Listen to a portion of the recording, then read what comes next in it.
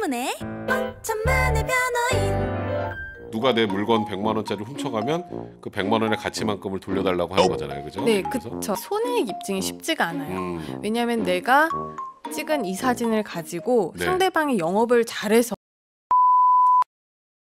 자 그러면 우리 사례 한번 볼게요. 일러스트 작가인 A 씨 작품을 자신의 SNS에 공개하곤 했는데요. 어, 어느 쇼핑몰에서 그 그림을 그대로 가져가서 홈페이지에서 사용하는 걸 발견한 겁니다. 그림을 내려달라고 쇼핑몰 쪽에 요청을 했지만 묵묵부답. 이럴 땐 어떻게 하나요? 라는 그런 내용인데요. 아 진짜 요즘에 일러스트 하시는 분들이 본인 요즘에 땡스타그램이나 뭐 얼굴책 이런 데다가 네. 많이 올리잖아요. 그러면 그냥 어 이거 누가 올렸나 보다 하고 막 갖다 쓰는 분들 있어요. 네 맞아요. 이거 지금 보니까 분명히 문제가 좀 있는 것 같은데 이 쇼핑몰 입장에서도 아니 그 공개한 거 내가 쓰는데 뭐가 문제 이렇게 해서 쓴 것 같은데 그럼 이 일러스트 작가 A 씨 무엇부터 시작해야 될까요? 일단 이거는 엄연한 저작권 침해죠. 음, 내가 그린 그렇죠. 그림을 누군가가 가져가서 무단으로 사용한다. 어. 내 저작권을 침해한 건 맞거든요. 그렇죠. 그러면은 이 저작권 침해 사실이 발견이 되면 침해가 됐는지 그 자료를 먼저 수집을 하셔야 됩니다. 아 일단 증거 자료. 증거 자료. 어. 증거 자료가 그럼 뭐겠어요? 그 거기에서 쓰고 있는 거 이렇게. 그렇죠. 그 홈페이지에 게시되어 있는 그 화면 같은 그렇죠. 것들을 이제 캡처를 하면 그게 증거가 되는 거고요. 네. 두 번째는 만약에 그게 이제 아까 말씀하셨다시피 뭐 땡스타그램이나 얼굴책이라고 한다면 네. 그 해당 플랫폼 관리자에게 신고를 하시면 돼요. 이렇게 지금 무단으로 누가 내 거를 복제해서 사용하고 있으니 저작권 침해니까 이거를 내려달라라고 음. 해당 플랫폼 관리자에게 다 신고를 하시면 되고 네. 실제로 이런 그런 규정들이 다 있기 때문에 음. 쉽게 신고를 하실 수가 있어요. 음. 자, 근데 지금 이 사연에서 보면 이분이 쇼핑몰에서 그림 쓰니까 좀 내려달라 이렇게 요청을 했지만 아무 대답도 없다 그래요? 아무 대답도 없으면 참아야 된다 이건 아니잖아요. 아니죠. 네. 이럴 때는 이제 정말로 어떤 법적인 조치를 해야 되는데 네. 이게 내용 증명이라든지 아니면 이메일 발송 아니면 해당 뭐 홈페이지에 게시판이 있으면은 음. 네. 거기다가 상대방에게 저작권 침해 사실을 알리는 거예요. 음. 그러니까 내가 저번에 수집한 증거, 네. 그러니까 그 사람이 내 그림을 무단으로 사용하고 있는 홈페이지 캡처본을 첨부를 해서 네. 이건 내 사진인데 당신이 네. 무단으로 사용하고 있으니 음. 당장 게시를 중단하고 음. 나한테 손해배상을 해달라 네. 이런 식으로 내용 증명을 보내는 거죠. 음. 그래서 이제 그 묵묵부답이던 이 그 쇼핑몰 쪽에 내용 증명까지 보냈어요. 그래도 근데 그래도 그래도 있어요. 묵묵부답이야. 그래. 그러면 이제 정말 소송 제기하셔야죠. 음. 일단 소송 제기하는 게 두 가지 방법으로 생각을 하실 수가 있는데 네. 첫 번째는 형사 고소를 하시는 방법입니다. 음. 이게 저작권이라고 했잖아요. 저작권법에 의하면 이렇게 저작권을 침해하면 네. 최고 5년 이하의 징역 5천만 원 이하의 벌금에 음. 해당할 수 있거든요. 네. 이거는 엄연한 불법 행위이고 범죄예요. 형사 그렇죠. 처벌을 받을 수 있는 거기 때문에 네. 그 부분에 대해서 적극적으로 형사 고 소를 취하셔야 되고 이제 두 번째가 민사 소송입니다. 음. 민사 소송은 저 사람이 내 거를 무단으로 가져가서 네. 나한테 손해를 입혔으니까 어, 그렇죠. 그 부분에 대해서 손해배상을 네. 해달라라고 이제 민사 소송을 제기하시면 됩니다. 이 저작권도 물건으로 생각하셨으면 좋겠어요. 아, 저작권을 물건으로 네. 어. 왜냐하면은 우리가 남의 물건 훔치면 어떻게 되죠? 절도죄죠. 절도죄죠. 네. 저작권도 똑같습니다. 오. 남의 사진 가져다가 하면요 절도예요. 어, 저작권법 위반인 음, 거죠. 음. 형사 처벌되는 거기 때문에. 네.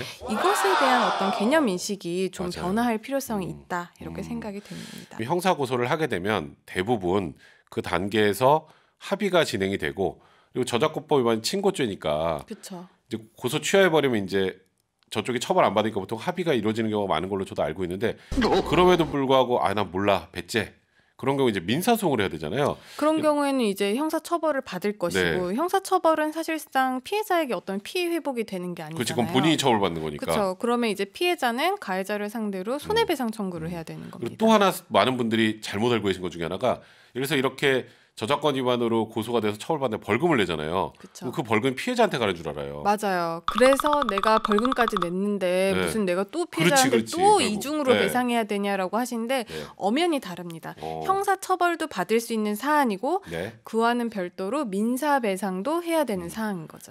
그러면 이제 이런 거 할 때 손해액 같은 거 산정이나 이런 걸 어떻게 보통 하는 게 좋을까요? 사실상 아까 말씀드렸다시피 손해액 입증이 쉽지가 않아요. 음. 왜냐하면 내가 찍은 이 사진을 가지고 네. 상대방이 영업을 잘해서 어. 너무 내 사진 때문에 이익을 많이 봤다라고 하면은 그렇지. 그만큼 뭐 나한테 손해가 있다라고도 생각을 네. 할 수가 있는데 그거는 엄연한 의미에서 본다면 나의 손해는 아니거든요. 어, 그렇지.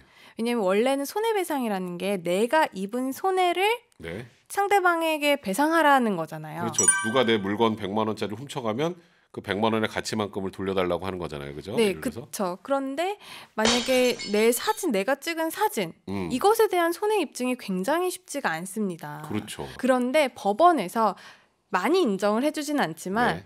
액수를 인정을 해줍니다. 액수를 아예 음. 정해줘요. 음. 그렇기 때문에 일단 손해배상을 하시면 네. 손해배상금이 법원에 의해서 어느 정도 정해진다라는 걸 아시고 적극적으로 하시면 될 것이고 사, 실상그 민사적으로 손해배상 액수는 많이 크진 크진. 않다. 음, 이번 사례 같은 경우 네. 특히 크진 않겠죠.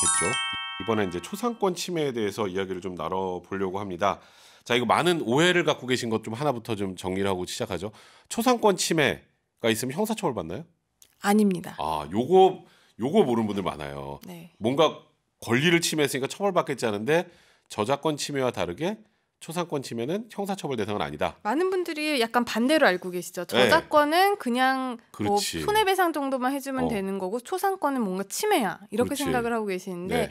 저작권은 오히려 침해를 음. 하면 형사처벌되는 범죄고요. 네. 초상권은 아직까지는 형사처벌을 받는 범죄는 아니다. 어, 그러니까 초상권 침해 뭔가 대응을 할 때 경찰서로 가는 건 아니다. 아니다. 아. 가도 돌려보내준다. 네, 그렇죠. 모르는 사람의 블로그 사진에 아니면 혹은 너튜브 영상에서 제 얼굴을 발견한 겁니다. 이렇게 초상권 침해를 당할 경우 이런 것도 이 정도만 가지고도 손해배상 청구 가능한가요? 어, 일단 그러면 초상권의 개념부터 좀 설명을 드려야 될것 그렇죠. 같은데 이제 초상권이라는 거는 이제 본인의 허락 없이 음, 자신의 사진이 찍히거나 네. 찍힌 게 공표가 되거나 음, 아니면 이게 상업적으로 이용될 것 이용되거나. 음. 이런 부분에 대한 권리를 말을 합니다. 그냥 찍히는 거 몰래 찍는 것도 안 되네요. 찍는 것도 안 되고 찍어가지고 이제 알려드는 것도 안 되고 네. 이거를 영리적으로 사용해서도 안 된다. 음. 이게 이제 초상권의 개념이라고 생각을 하시면 되는데 네. 초상권이라는 건 사실 무슨 법이 있는 건 아니에요. 초상권 지- 침해가 되려면 두 가지를 좀 알아두시면 될 것 같아요. 네. 일단 식별 가능성. 아, 딱 봐서 아 저거 백성문이네. 그쵸? 저거 조을원이네. 맞아요. 이렇게. 어. 누군지 알아볼 수 있는 건지 네. 그거고 이제 두, 두 번째가 이제 영리적인 목적으로 활용이 되는 되고 음. 있는지 이 네. 부분을 좀 판단을 하셔서 이거 두 개가 어. 판, 그러니까 인정이 된다라고 하면은 음. 이제 초상권 침해로 손해배상을 할 수 있다라고 네. 생각을 하시면 돼요. 자, 근데 이제 제 얼굴이 그 다른 블로그에 막 올라와 있고 유튜브에 있는 게 싫어요. 그러니까 아, 난 너무 불쾌해 그냥. 그래서 내가 관리자한테 제 사진 내려달라고 요청했는데 내려주지 않아요. 그럼 이럴 때는 어떻게 해야 될까요? 이런 경우에는 이제 저작권을 침해당했을 때랑 좀 비슷하게 하시면 되는데 어, 네. 음. 일단 단순히 어떤 나의 뭐 다리라든지 성적 수치심을 불러일으킬 만한 어떤 신체가 아니라 네. 그냥 얼굴이 음. 게시된 게 그러니까 남의 SNS에 올라와 있는 게 그렇지. 싫을 수 있잖아요. 그렇죠. 이런 경우에는 일단 초상권 침해라고 볼 수는 있고요. 네. 그렇기 때문에 상대방한테 내가 이렇게 침해 당하고 있다라는 어. 사실과 게시를 그만 좀 해달라는 음. 그런 사실을 고지를 해야 됩니다. 네. 고지하는 방법은 여러 가지가 있을 수 있겠죠. 음. 예를 들면 뭐 이메일도 보낼 수가 있고 그렇죠. 아는 사람이라면 전화나 문자나 뭐 음. 카카오톡 같은 것들을 통해서 할 수도 있고요. 네. 만약 이래도 안 된다고 하면은 아까 말씀드린 내용 증명을 통해서 침해 사실 그리고 게시 중단 음. 그리고 만약에 잘 내려주지 않는 않는다고 하면 나중에 손해배상까지 네. 청구를 할 수도 있다라고 해서 음. 내용 증명을 보내시고 그래도 안 된다. 네. 라고 하면은 뭐 법원 가셔야죠. 법원에다가 또 민사 손해배상을 청구하시기는 해야 되는데 사실 이것만으로 초상권 침해로 어떤 손해배상이 인정되기는 그러니까 조금 아까 어려워요. 말씀하셨던 것처럼 그죠? 하지만 내가 이렇게 상대방에게 수차례 내려달라고, 어, 내려달라고 했음에도 했는데. 불구하고 상대방이 무시를 해서 내가 정신적으로 피해를 입었다. 음, 음. 아니면 내가 사진이 거기에 있어서 다른 사람들이 나에 대해서 어떤 비하하는 음. 내용을 했다라고 하면 네. 이건 또 법적으로 문제될 수 있는 그렇죠. 부분이거든요. 음. 그렇기 때문에 그런 근거를 만드셔서 손해배상 소송을 하시면 음. 인정이 될 가능성도 있습니다. 그러니까 그냥 내 사진 찍은 거 게시한 것만 가지고 상업적 용도가 없는데도 그걸 가지고 손해배상 청구 소송을 제기하면 의미가 없겠지만 계속 내려달라고 했음에도 불구하고 그걸 듣지 않아서 내 초상권이 계속 침해되고 있고 이 손해를 회복해주지 않는다면 그에 대한 정치적 손해배상을 청구할 수 있는 방법은 그쵸. 있다. 아 이렇게 정리하면 되겠네요.